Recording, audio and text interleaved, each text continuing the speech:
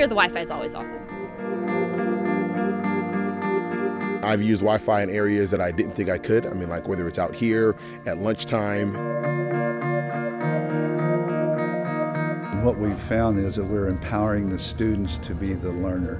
Really, the world's at their fingertips, and that's from either FaceTime, Skyping, or going right to the internet to search. So it makes actually learning quicker, faster, and more exciting. It's a game changer. It really changes how instruction works in the classroom and opens up possibilities that just simply didn't exist before.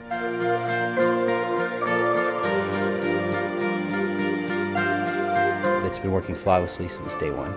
We've had other systems where, uh, with, ac with access points, that it worked often, it worked usually, and that just wasn't good enough. So the network is critical. It is something that just has to work and it has to work all the time Otherwise, the teachers and the students will lose an entire period.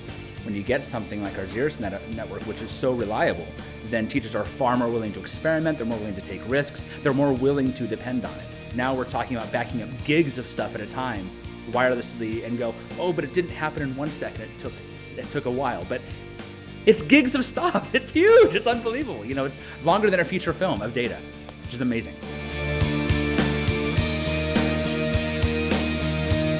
Remember we did poetry outside on the boathouse um, last year and we read from our iPads. And so you can sit around in different settings that kind of adds something else to um, the learning experience.